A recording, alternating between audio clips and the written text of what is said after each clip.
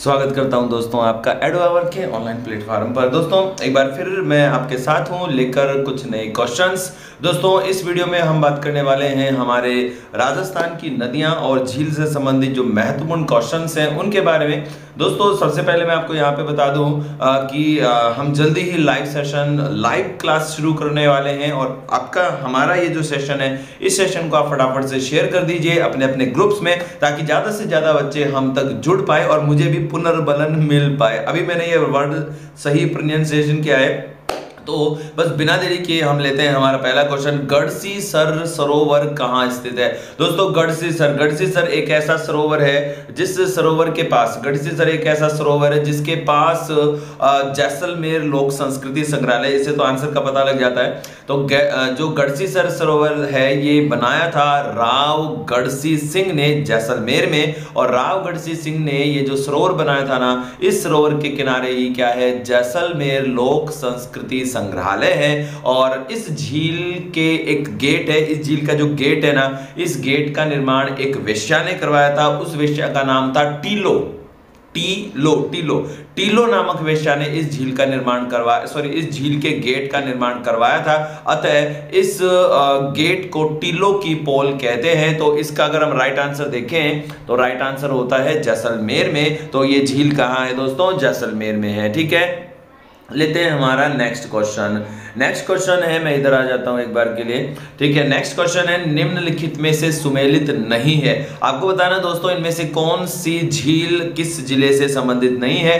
गढ़सीसर झील, जैसलमेर, पिछोला झील, उदयपुर तालाब शाही झील, बाड़मेर, गैप सागर, डूंगरपुर। फटाफट से कमेंट बॉक्स में आंसर दे दीजिए कि कौन सा सही आंसर होगा, कौन सा इसका राइट आंसर है कि गढ़सीसर, जैसलमेर, पिछोला, उदयपुर तालाब शाही बाड़मेर और गैप सागर, डूंगरपुर। दोस्तों गैप सागर को गैप सागर भी कहते हैं। गढ़सीजर की हमने लास्ट अभी जस्ट बात की थी। बात आती है पिछोला झील की तो ये उदयपुर में है, बिल्कुल कंफर्म है। तालाब शाही दोस्तों, यहाँ पे सुमेलित नहीं है। तालाब शाही जो झील है ना, इस झील के निर्माण की अगर हम बात करते हैं तो ये जो हमारी झील है, ये धौलपुर में है। कहाँ है दोस्तों? ये झील धौलपुर में है और इस झील का निर्माण करवाया था हमारे जहांगीर का एक मनसबदार था और इस मनसबदार का नाम था सुलह खां सुलह खां।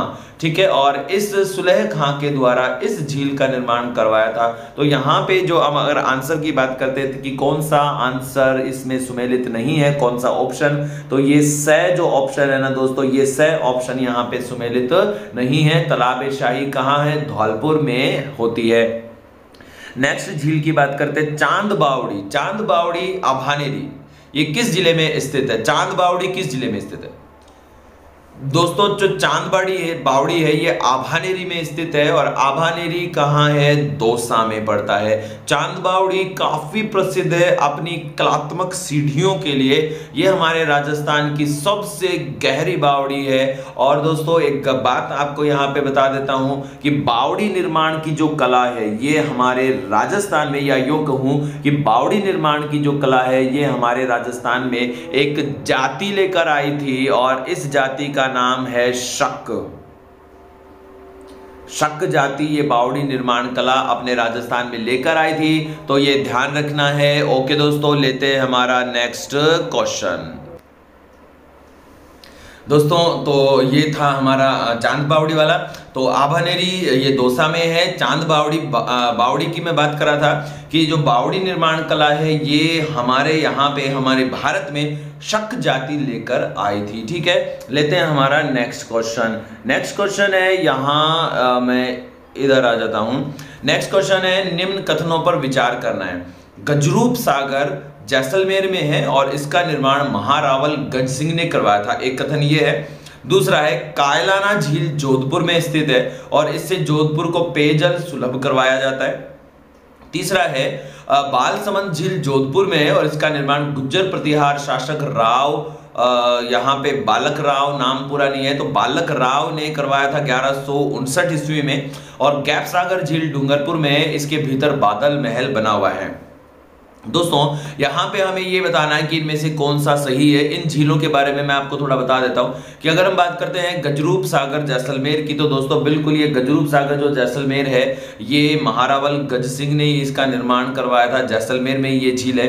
इसके अलावा अगर हम बात करते हैं कायलाना झील की तो कायलाना झील जोधपुर में है। इसको, यानी जोधपुर की कायलाना झील को हम जोधपुर की लाइफ लाइन कहते हैं तो ये भी याद रखना है। बालसमंद झील, ये बालक राव परिहार ने बनवाया था, बिल्कुल सही है। और गैप सागर झील की अगर हम बात करते हैं तो बिल्कुल ये डूंगरपुर में ही है और इसके भीतर बादल महल बना हुआ है। यानी कि ये सभी के सभी जो कथन है, ये सही है। साथ ही एक और बात बता देता हूँ मैं आपको कि ये जो हमारी गैप सागर झील है ना, जो कि डूंगरपुर में है महारावल गोपीनाथ ने बनवाई थी और इस झील के किनार किनारे बागड़ की मीरा। बागड़ की मीरा कौन है?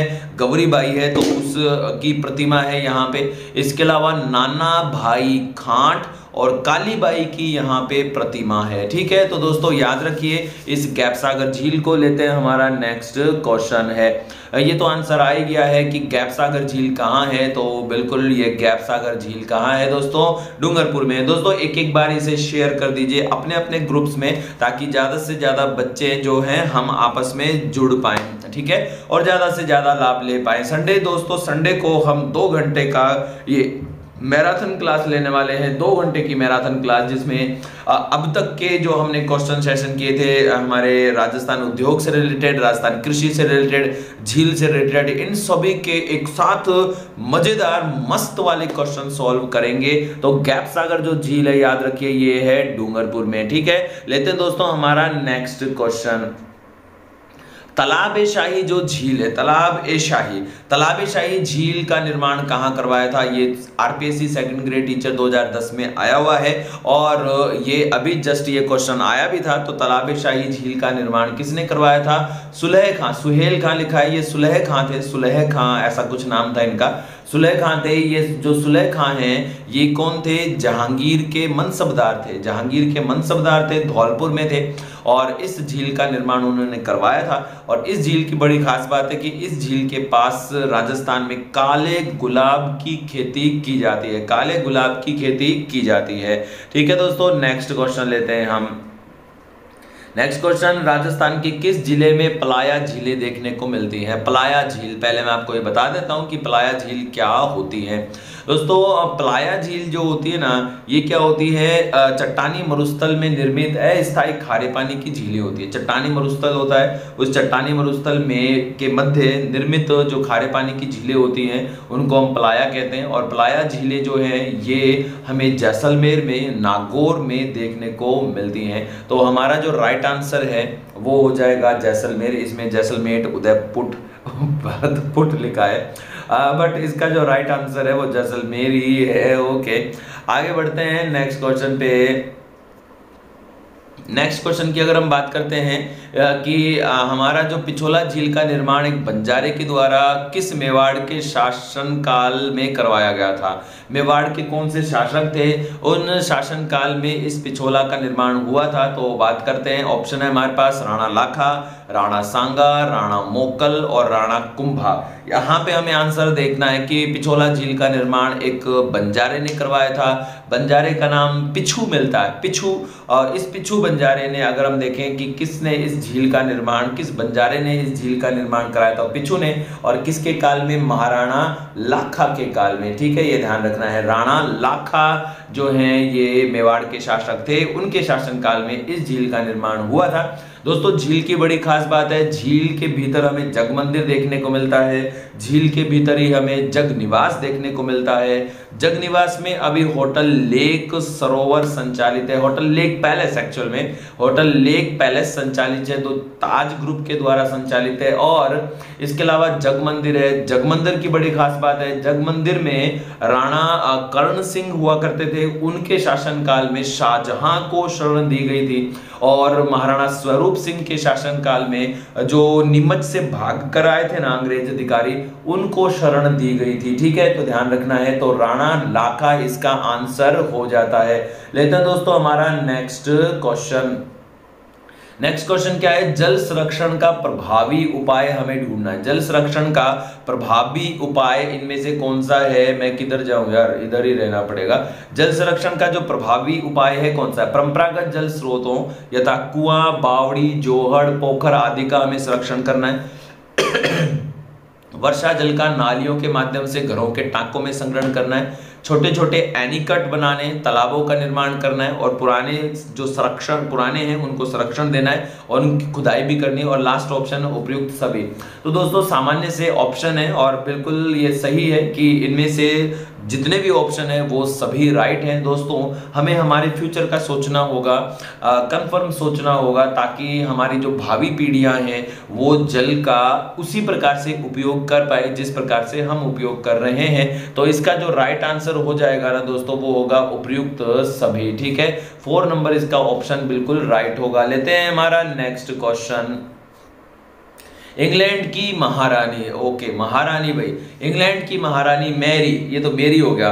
मेरी महारानी की बात नहीं है, यहाँ पे मैरी की बात है, मैरी डबल मात्रा आएगी भाई। इंग्लैंड की महारानी मैरी का दिसंबर 1911 में भारत की यात्रा हुई थी। जब वो यहाँ पे पहुँची तो पुष्कर झील का जब उन्होंने यात्रा की तो पुष्कर झील पर उनके स्मरण के स्वरूप एक घाट बनाया गया था, जिसका नाम जनाना घाट हम देते हैं। तो जनाना घाट जो है, वो कहाँ पर है दोस्तों? याद रखना, नक्की पे आना सागर, पुष्कर पिछोला। आंसर तो मैं बातों ही बातों में दे चुका हूँ। तो इसका जो आंसर है, वो कौन सा है? पुष्कर झील में 1911 में इसे निर्मित किया गया था। खास बात बताता हूँ मैं इस जनाना घाट की। खास बात है दोस्तों कि ये जो जनाना घाट है ना, यहीं पे गांधी जी की अस्थियों का विसर्जन हुआ था। और गांधी जी की अस्थियों के विसर्जन की वजह से इस घाट को अब गांधी घाट भी कहते हैं। ध्यान रखना है, गांधी घाट इसी का नाम है। ओके दोस्तों, लेते हैं हमारा नेक्स्ट क्वेश्चन। कौन सी झील, प्रमुख खारे पानी की झील जो लूनी बेसिन है? बहुत ही ज़बरदस्त क्वेश्चन है, बहुत ही शानदार। कौन सी इनमें से खारे पानी की झील है जो लूनी बेसिन में स्थित है? आपको बताना इनमें से कोई है क्या? मुझे तो कोई सी भी नहीं लग रही है। एक ऑप्शन है हमारे पास नक्की, वो सिरोही में है तो वो लूनी बेसिन में नहीं है। सिली सेड ये अलवर में है तो ये भी लूनी बेसिन में नहीं है। पिछोला, ये एक मीठे पानी की झील है, उदयपुर में पचपदरा, ये बाड़मेर में है। तो लूनी बेसिन की अगर हम बात करते हैं तो इसमें से जो राइट आंसर होगा आ, वो पचपदरा होगा है ना? ध्यान रखना है लूनी बेसिन में स्थित है ये पचपदरा खारे पानी की झील है। एक और खास बात बताता हूँ आपको कि हमारी जो पचपदरा झील है ये एक कैसी झील है? जो राजस्थान का ही नहीं भारत का सर्वोत्तम खाने योग्य नमक का उत्पादन करके सबसे ज़्यादा जो उत्तम क्वालिटी का नमक है वो इसी झील का है। झील के नमक की खास बात है कि झील के नमक में अट्ठानवे प्रतिशत क्या पाया जाता है? सोडियम क्लोराइड देखने को मिलता है। अट्ठानवे प्रतिशत सोडियम क्लोराइड झील के नमक में पाया जाता है। तो दोस्तों, आगे बढ़ते हैं नेक्स्ट क्वेश्चन की। और किशोर सागर तालाब कहाँ है? किशोर सागर। ठीक है? ये कोटा में है या बूंदी में है या उदयपुर में है या किशनगढ़ में है? आंसर फटाफट से दे दीजिए आप कि किशोर सागर जो तालाब है, किशोर सागर तालाब है, कहाँ स्थित है? कोटा, बूंदी, उदयपुर, किशनगढ़। टाइपिंग आज जल्दबाजी में ठीक से नहीं हुई। उदयपुर का उदयपुर हो रहा है, किशनगढ़ का किशनगद हो रहा है। गद गद गदगद समझते हो क्या? हिंदी का शब्द है ये गदगद। मतलब तो बहुत ज़्यादा प्रसन्न होना, आप तो समझते हैं गदगद बहुत ज़्यादा खुश हो जाता है, ठीक है? जैसे कि मैं आपकी क्लास में आके आपको देख के आपका मतलब आपका, क्या बोलते हैं, आपका सपोर्ट देख के मैं गदगद हो जाता हूँ, क्या? वाह, मज़ा आ जाता है आपके साथ। तो यहाँ पे हम आंसर देखें तो किशोर सागर जो तालाब है ना, ये कोटा में है, ठीक है दोस्तों? आगे बढ़ते हैं नेक्स्ट क्वेश्चन को लेते हैं। बाल समंद और कायलाना झील राजस्थान के किस ज़िले में? बहुत ही बढ़िया क्वेश्चन है। बाल समंद बाल समंद बालक राव परिहार ने बनवाई थी। और ग्यारह में बनवाई थी। और अगर बात करते हैं कायलाना की तो कायलाना जो झील है ना, कायलाना झील का निर्माण अठारह में करवाया था। अठारह में सर प्रताप सिंह, सर प्रताप सिंह ने इस कायलाना झील का निर्माण करवाया था। तो आपको बताना है कि ये जो झील है, ये कहाँ है? बाल समंद और कायलाना झील राजस्थान के किस ज़िले में है? हम लेते हैं हमारे ऑप्शन, जैसलमेर, बाड़मेर, जोधपुर और उदयपुर। तो दोस्तों, यदि हम बात करते हैं कायलाना झील की, जिसको हम लाइफ लाइन कहते हैं, जोधपुर की। तो कन्फर्म है कि बाल समंद और कायलाना झील जो है, वो कहाँ है?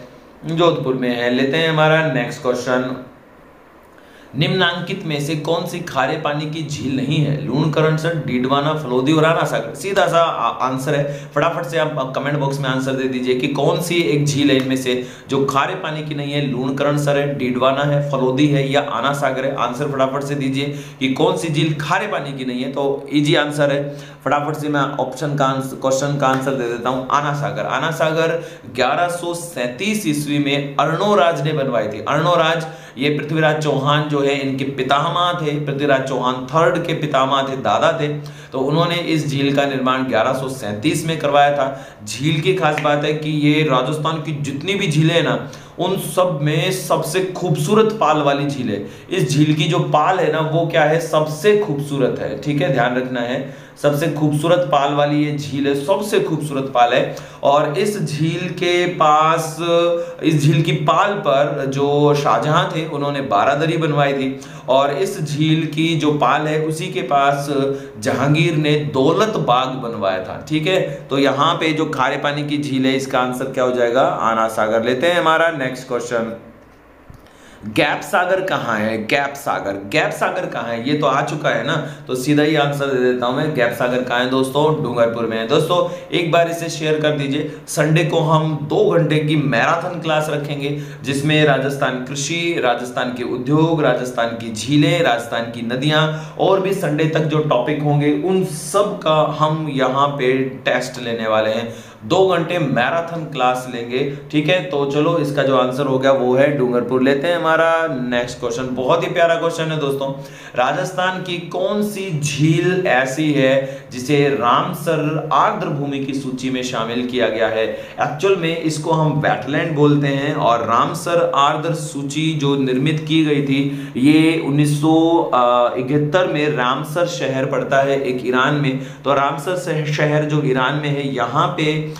इस जैव विविधता, नम भूमि आदि के संरक्षण के लिए क्या हुआ था? एक सम्मेलन हुआ था और इस सम्मेलन के अकॉर्डिंग पूरे विश्व में ये रामसर जो साइट्स हैं, इनका निर्माण किया गया था। आपको बताना कि इनमें से कौन है रामसर साइट्स जयसमंद है आना सागर है, सांबर है और राजसमंद है। तो दोस्तों, सही आंसर है सांबर। ये एक वेटलैंड है और हमारे जो भारत है ना, ये सॉरी राजस्थान। राजस्थान का सबसे बड़ा वेटलैंड है। राजस्थान का सबसे बड़ा वेटलैंड है। इसके अलावा एक और वेटलैंड है अपने राजस्थान का, वो है केवला देव केवलादेव वेटलैंड को 1 अक्टूबर 1981 में वेटलैंड का दर्जा दिया गया था और सांबर को 23 मार्च 1990 में वेटलैंड का दर्जा दिया गया था, ठीक है? आगे बढ़ते हैं नेक्स्ट क्वेश्चन की और नेक्स्ट क्वेश्चन है, जैत सागर तालाब कहाँ है? वाह शानदार सा क्वेश्चन है। उदयपुर में है, बूंदी में है, जोधपुर में है या भीलवाड़ा में है? आपको आंसर देना है कि जैत सागर तालाब कहाँ है? जैत सागर। आपको बता देता हूँ कि जैत सागर सिंचाई उद्देश्यों की पूर्ति के लिए निर्मित किया गया था। सिंचाई के लिए इसे निर्मित किया गया था। उदयपुर में है बूंदी में है जोधपुर में है या भीलवाड़ा में? तो ये जब हम जैत सागर की बात करते हैं ना तो दोस्तों जो जैत सागर कहाँ है? बूंदी में है। और जैत सागर का निर्माण एक मीणा जी थे। मीणा जी का नाम था जैता मीणा। तो जैता मीणा ने इस झील का निर्माण करवाया था। नेक्स्ट क्वेश्चन लेते हैं हम फटाफट से। नेक्स्ट uh, है कि किस झील के किनारे गलकी नामक चटनी चटनी? गलकी नामक नटनी, नटकी है, ओके। तो गलकी नामक नटनी का चबूतरा स्थित है ना? तो फतेह सागर, आना सागर, पिछोला और फाय सागर। तो आपको बताना है कि गलकी नटनी का जो चबूतरा है, किस झील के पास है? तो चबूतरा का मतलब है उसकी समाधि आप मान सकते हैं। तो समाधि किस झील के पास है? तो दोस्तों, अगर हम बात करते हैं समाधि की तो हमारी ये जो पिछोला झील है ना, पिछोला झील, इसी पिछोला झील के पास ही गलकी नटनी का चबूतरा है और पिछोला झील की बड़ी खास बात है, बताता हूँ मैं आपको कि पिछोला झील राजस्थान की वो पहली झील है जहाँ पे सौर ऊर्जा चलित नाव का संचालन किया गया था। ध्यान रखना है नेक्स्ट क्वेश्चन पर हम आ जाते हैं। बांकली बाँध जालोर ज़िले में है। किस नदी पर है? दोस्तों बाकली बाँध बाकली बाँध बहुत ज़्यादा फ़ेमस है। ये लूनी की सहायक नदी पर है। अब जो हमारे पास ऑप्शन है, जवाई, बांडी, सुकड़ी, खारी, ये सभी की सभी लूनी की सहायक नदियाँ हैं। आपको ये बताना है कि इनमें से वो कौन सी नदी है जिसके ऊपर बांकली बाँध बना हुआ है? जवाई, बांडी, सूखड़ी, खारी। तो दोस्तों, अगर हम आंसर की बात करते हैं तो हमारा जो बांकली बाँध है, ये सूखड़ी नदी पर है, जालोर में। बांकली बाँध कहाँ है? सूखड़ी नदी पर है, जालोर में, जो लूनी की सहायक नदी है। लेते हैं हमारा नेक्स्ट क्वेश्चन उदयपुर शहर को जलापूर्ति करने हेतु अरावली की पहाड़ियों में एक सुरंग का निर्माण किया गया है। ठीक है गर्मी आ रही है सुरंग का निर्माण किया गया है और एक और सुरंग का निर्माण मानसी वाकल योजना के रूप में बनाई गई थी, जल सुरंग। और दूसरी जो सुरंग है, वो इनमें से कौन सी है? जयसमंद है, देवास है सोमकाकदर है या सेई है? तो उदयपुर शहर को पेयजल आपूर्ति करने के लिए एक मानसी वाकल सुरंग है और एक इनमें से बनाई गई है जैसमंद देवास सोम कागदर या से तो इसका दोस्तों, जो राइट आंसर होता है ना, इसका राइट आंसर है देवास जल सुरंग। ये साबरमती नदी पर बनाई गई थी। राइट आंसर क्या हो गया दोस्तों? राइट आंसर हो गया देवास जल सुरंग ठीक है, ये साबरमती नदी पर बनाई गई थी। 2011 में पूर्ण हुई थी और ये जो देवास जल सुरंग है, इसका वर्तमान नाम मोहन लाल सुखाड़िया जल सुरंग है। क्या नाम है दोस्तों? मोहन लाल सुखाड़िया जल सुरंग दोस्तों, आप देख रहे हैं जो भी चैनल पर नए हैं, फटाफट से चैनल को सब्सक्राइब कर लीजिए और लाइक तो कर ही दीजिए, ठीक है? ओके, आगे बढ़ते हैं नेक्स्ट क्वेश्चन पे। नेक्स्ट क्वेश्चन लेते हैं हमारा कि विश्व में उपलब्ध कुल जल का कितना प्रतिशत भाग मनुष्य के लिए उपयोगी है? सत्ताईस प्रतिशत है दो पॉइंट सात प्रतिशत है ग्यारह प्रतिशत है या एक पॉइंट एक प्रतिशत है? आपको आंसर ये बताना है कि हमारा जो विश्व में कुल जो जल है आ, वो खारा पानी का है। करीब 97 परसेंट जो पानी है वो कैसा है? खारा है हमारे उपयोग का नहीं है। इसमें से तीन प्रतिशत पानी शुद्ध है और उसमें से भी हमारे लिए जो अवेलेबल है, वो सीमित है। आपको बताना कि कितना प्रतिशत है। तो इसमें जो आंसर आता है, वो है एक प्रतिशत, लगभग एक प्रतिशत जो जल है, वो हमारे उपयोग का है। बाकी हम उपयोग में नहीं ले पाते हैं। वो ग्लेशियर के रूप में सुरक्षित है। निम्न में से वह बाँध बताना है। निम्नलिखित में से वह बाँध बताना है जो स्थित है चित्तौड़गढ़ में। बिलास गुढ़ा बाँध गैप सागर और भीम सागर ठीक है? आपको बताना है कि चित्तौड़गढ़ में कौन सा बाँध है? बिलास, गुढ़ा गैप सागर भीम सागर ठीक है? तो दोस्तों, इसमें जो भीम सागर है, ये कहाँ स्थित है? चित्तौड़गढ़ में स्थित है, ठीक है? भीम सागर जो है, चित्तौड़गढ़ में स्थित है, ध्यान रखना है, ओके? आगे बढ़ते हैं, नेक्स्ट क्वेश्चन पे। आयड नदी किस झील में गिरने के पश्चात बेड़च कहलाती है? आयड नदी। आयड नदी जो होती है, इसको हम बेड़च भी कहते हैं। आपको ये बताना है कि जो बेड़च है, इसका नाम किस झील के बाद होता है? फतेह सागर, जयसमंद, राजसमंद या उदय सागर? तो आपको बताना है कि किस झील के बाद ये बेड़च हो जाती है? तो दोस्तों, सीधा सा आंसर है ऑप्शन है इसमें डी तो उदय सागर झील के पश्चात जो हमारी आयड नदी है किसमें बदल जाती है? बेड़च में बदल जाती है। एक्चुअल में आयड नदी को ही बेड़च कहते हैं इस झील के बाद, और ये झील है उदयपुर में, ठीक है? लेते हैं हमारा नेक्स्ट क्वेश्चन 25 के बाद सीधा 29 ये कैसे नंबरिंग हो रखी आज यार? चलो कोई नहीं तो हम देखते हैं नेक्स्ट जो क्वेश्चन है, जो भी है। राजस्थान में परंपरागत जल संरक्षण के रूप में बेरियाँ या जो छोटी कुई हैं, वो निर्मित की जाती हैं। अब ये किन जिलों में होती हैं? एक बात बता देता हूँ मैं आपको, बेरियों के लिए या कुई के लिए, ये रिसाव से बनी हुई होती है। रिसाव बेरिया कहलाते हैं, इनको रिसाव बेरिया कहते हैं। ये बनी होती है जयपुर, अजमेर में, या कोटा बूंदी में, या बाड़मेर, जैसलमेर में, या चित्तौड़गढ़, भीलवाड़ा में। रिसाव बेरी का मतलब है कि ये झील, ये जो बेरियाँ होती हैं या कुई होती हैं, ये कम गहरी कम गहरी सकड़ी और गर्तनुमा रचना होती है। ये कोई एक बड़ा जलाशय होता है। उस जलाशय के समीप इनका निर्माण किया जाता है। एक बड़ा सा जलाशय होता है, उसके समीप निर्माण किया जाता है। और उस जलाशय का जो पानी है, वो रिस रिस कर इनके अंदर पहुँचता है। तो ये जो है हमारे राजस्थान के बाड़मेर और जैसलमेर में बनी हुई है, ठीक है? ध्यान रखना है इनको। नेक्स्ट क्वेश्चन पर आते हैं। ट्वेंटी फाइव नंबर का क्वेश्चन दे रखा है। राजस्थान में जल संग्रहण हेतु भूमिगत जल आधारित रचनाएँ हैं। दोस्तों, भूमिगत जल आधारित। भूमिगत का मतलब है भूगर्भिक जल। इनमें से कौन सी वह रचना है जिसका संबंध भूगर्भिक जल से है? भूगर्भिक जल से। याद रखना है, भूगर्भिक जल से। बावड़ी, कुआँ, टांका या एक व दो, दोनों। इसमें देखो टांका का संबंध है, वर्षा जल से। वर्षा जल वर्षा जल आता है और इस कुंड में जो टांके, टांका या कुंड होता है, पक्का जलाशय होता है, इसमें आकर एकत्र हो जाता है। और बावड़ी का संबंध, बावड़ी मैं आपको बता चुका हूँ कि भारत में शक जाति शक जाति भारत में लेकर आई थी और जो कुआँ है, कुएँ का संबंध भी भूगर्भिक जल से होता है और बावड़ी भी एक प्रकार का कुआँ ही होता है। बावड़ी भी एक प्रकार का कुआँ ही होता है तो राइट आंसर जो होगा इसमें वो हो जाएगा एक व दो दोनों, ठीक है? ध्यान रखना है। नेक्स्ट क्वेश्चन हम लेते हैं। निम्नलिखित में से किस नदी का जल बंगाल की खाड़ी में जाता है, ठीक है? आपको चार ऑप्शन मिल रहे सोम का, साबरमती का, लूनी का, बेड़च का। आपको बताना है कि कौन सी नदी है जिसका पानी बंगाल की खाड़ी में जाता है। दोस्तों, पहला ऑप्शन सोम। सोम माही की सहायक है। तो माही गिरती है अरब सागर में तो सोम आएगी माही में और माही जाएगी अरब सागर में। तो सोम का पानी बंगाल की खाड़ी में नहीं आता है। फिर बात आती है साबरमती की। तो साबरमती जो नदी है, ये साबरमती नदी सीधा खंबात की खाड़ी में जाती है, यानी कि अरब सागर में। इस नदी के किनारे अहमदाबाद है। लूनी नदी जो है ये लूनी नदी भी सीधा आ, हमारे कच्छ के रन में जाती है तो इसका संबंध भी अरब सागर से है।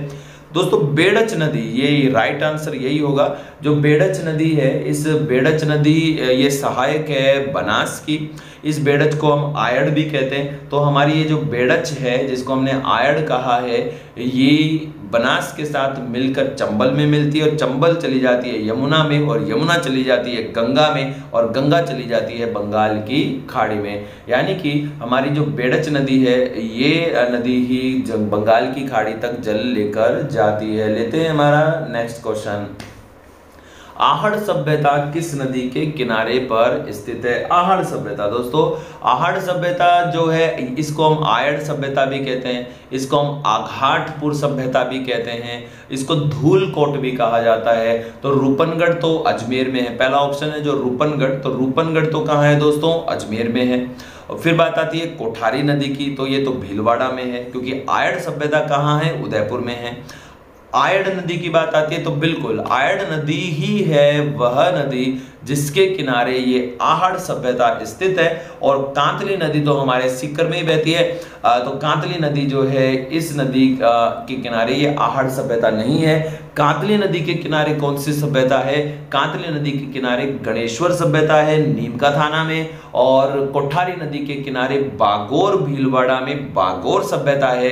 बागोर सभ्यता वही है दोस्तों, जहाँ पे विश्व के प्राचीनतम पशुपालन के साक्ष्य मिले थे। ठीक है? लेते हैं हमारा नेक्स्ट क्वेश्चन माही नदी से संबंधित कथनों पर विचार करते हुए असुमेलित कथन बताना है। असुमेलित बताना है, यानी असुमेलित का मतलब है जो सही नहीं है, उसी कथन को हमें बताना है। टाइम का भी मुझे विशेष ध्यान रखना होगा।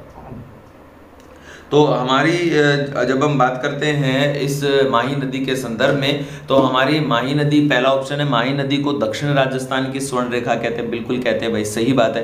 माही की राजस्थान में कुल लंबाई पाँच सौ छिहत्तर, और लो, ये जो दूसरा ऑप्शन है ना यही गलत हो गया। माही नदी की कुल लंबाई है पाँच सौ छिहत्तर, राजस्थान में कुल लंबाई पाँच सौ छिहत्तर नहीं है, राजस्थान में है मात्र एक सौ इकहत्तर किलोमीटर हम देख लेते सी ऑप्शन तो दो हमारा जो ऑप्शन है, ये इसमें सुमेलित नहीं है। लेकिन फिर भी तीसरा और चौथा पढ़ के देख लेते कि क्या पता आंसर में कोई मिस्टेक हो ऑप्शन में।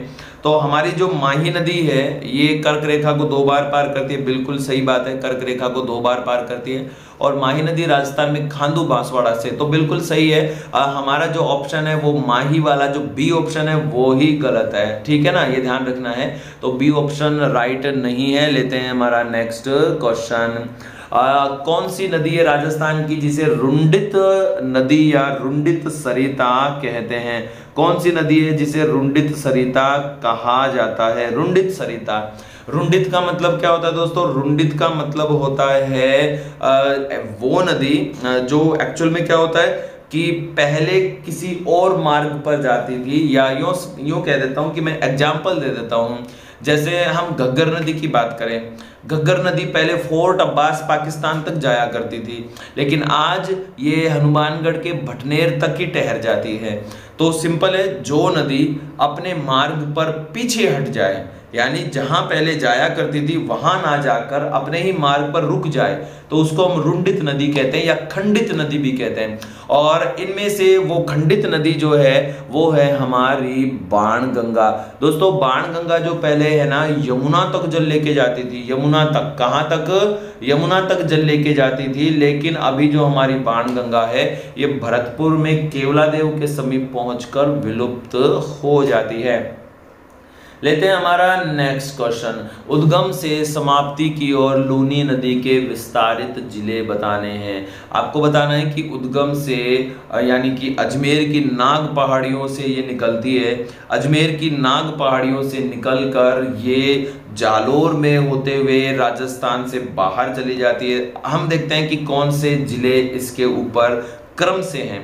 तो अजमेर अजमेर से निकल कर ये जाती है नागौर नागौर से निकल कर जाती है पाली पाली से जोधपुर जोधपुर से बाड़मेर बाड़मेर से जालोर, यानी कि इसमें जो हमारा पहला ऑप्शन है ना, ये पहला ऑप्शन ही क्या है? राइट हो जाता है। पहला ऑप्शन ही क्या है दोस्तों? राइट है। ठीक है, आगे बढ़ते हैं नेक्स्ट क्वेश्चन को लेते हैं। लूनी नदी का जल किसमें गिरता? बहुत ही अच्छा सा आ, स्वीट सा क्वेश्चन है आ, कि लूनी नदी का जल किसमें गिरता? कच्छ की खाड़ी में या जवाई बाँध में या बंगाल की खाड़ी में या कच्छ के रन में? तो मैं आपको बता चुका हूँ, हमारी जो लूनी नदी है, लूनी नदी अरब सागर में अपना जल लेकर जाती है। अब कंफ्यूजन रहता है, या कच्छ के रन में जाती है, या खंबात की खाड़ी में जाती है। तो दोस्तों, यहाँ पे अगर हम इस क्वेश्चन की बात करते हैं तो हमारी जो लूनी नदी है, ये कहाँ जाती है? ये कच्छ के रन में जाती है। कच्छ के रन में जाकर ये विलीन हो जाती है। ध्यान रखना है इसको। लेते हैं तो इसका आंसर मैं टिक कर देता हूँ। कच्छ का रन इसका सही आंसर है। लेते हैं हमारा फटाफट से नेक्स्ट क्वेश्चन बहुत ही प्यारा सा क्वेश्चन है कि किस झील के किनारे, किस झील के किनारे टॉड रॉक व नन रॉक देखने को मिलती हैं? तो कौन सी झील है इनमें से जिसमें टॉड रॉक और नन रॉक देखने को मिलता है? राजसमंद फतेह सागर नक्की और जयसमंद दोस्तों टॉड रॉक जो मेंढक के जैसा दिखता है। नन रोक जो घूंघट निकाले हुए पानी पिलाते हुए घूंघट निकालकर पानी पिलाते हुए महिला के समान आकार वाली चट्टान है, वो कहलाती है नन रोक ये दोस्तों, इनमें से वो झील कौन सी है? तो आंसर देना है। तो ये जो राइट आंसर होगा, इसका होगा नक्की झील, है ना? याद रखना है। नक्की झील दोस्तों, वह झील है जो इस की खास बात है कि इसके किनारे टॉड रॉक है, इसके किनारे नन रॉक है, इसके किनारे हॉर्न रॉक है। इसके किनारे और भी जैसे कैमल रोक है पैरट रोक है सुसाइड पॉइंट रोक है हनीमून पॉइंट रोक है इस झील के किनारे ये सारे पॉइंट देख के आओ। ओके आगे बढ़ते हैं नेक्स्ट क्वेश्चन पे। राज्य की किस नदी द्वारा अवनाली का अपर्दन किया जाता है? आंसर आपको ये देना है कि हमारे राजस्थान में आ, कौन सी वो नदी है जो अवनाली का अपर्दन करती है? आ, माही बाणगंगा लूनी या चंबल। अवनाली का अपर्दन दोस्तों ऐसा होता है कि जब नदी होती है ना नदी क्या करती है? अपने धरातल को वी शेप में काटने लगती है इस रूप में। वी शेप में काटते हुए आगे बढ़ती है। यहाँ पे ये वी शेप हो गया नदी यहाँ पे बहने लगती है इस रूप में। तो जब नदी वी शेप में बहे तो उसको हम बोलते हैं अवनाली का अपर्दन। और इस प्रकार का अपर्दन करने वाली राजस्थान की एक ही नदी है और वो नदी कौन है? चंबल। ठीक है? ध्यान रखना है। ओके तो चंबल वो नदी होती है, ठीक है? आगे बढ़ते हैं नेक्स्ट क्वेश्चन को लेते हैं। हतमती वैत्रक सेई वाकल आदि किसकी मुख्य नदियाँ हैं? किसकी मुख्य सहायक नदियाँ हैं? साबरमती की हैं, पश्चिमी बनास की हैं, या बनास की हैं, या माही की है? आंसर दीजिए कमेंट बॉक्स में कि हतमती वैतरक सेई वाकल आदि किस की नदियाँ हैं? किस किस सहायक नदियाँ हैं? साबरमती, पश्चिमी बनास बनास या माही? दोस्तों कमेंट बॉक्स में फटाफट से आंसर दीजिए। तो अगर हम बात करते हैं आंसर की तो राइट आंसर जो हमारा होता है, वो राइट आंसर है हमारा यहाँ पे जो साबरमती है ना सही वाकल हतमती मेशवा, वैतरक। ये सभी के सभी साबरमती की सहायक नदियाँ हैं। ठीक है ना दोस्तों? याद रखना है। लेते हैं हमारा आज के सेशन का लास्ट क्वेश्चन 35 नंबर इस पे 36 मार्किंग और क्या कौन सी नदी डूंगरपुर और बांसवाड़ा जिलों के बीच की सीमा बनाती है? बनास, बेड़च, मैनाल और माही। इनमें से कौन सी नदी है जो डूंगरपुर और बांसवाड़ा के बीच सीमा बनाती है? तो दोस्तों, बनास, बेड़च, चंबल और माही। इनमें से हम जिस नदी की हम बात करते हैं तो वो नदी है माही नदी। याद रखना है, माही नदी इस पे ऐसे भी क्वेश्चन आता कि माही नदी किन दो जिलों के बीच में सीमा बनाती है? डूंगरपुर, बांसवाड़ा बांसवाड़ा, प्रतापगढ़ बांसवाड़ा, उदयपुर, प्रतापगढ़, उदयपुर। तो याद रखना है कि माही नदी सीमा बनाती है डूंगरपुर और बांसवाड़ा के बीच में। तो हमारा जो राइट आंसर होगा, वो होगा माही नदी। ये माही नदी है जो डूंगरपुर और बांसवाड़ा की सीमा बनाती है। तो दोस्तों, आज का ये जो लाइव सेशन है, ये हमारा यही खत्म होता है। आई होप आपको ये क्वेश्चन अच्छे लगे होंगे। और भी मस्त मस्त क्वेश्चन हम लेकर आएँगे। बहुत ही शानदार संडे वाली क्लास दो घंटे की रखेंगे। आप पीछे वाले जो टॉपिक्स हैं, अच्छे से तैयार कर लीजिए। और हम फिर मिलते हैं कल। अभी के लिए good night bye take care thank you जय हिंद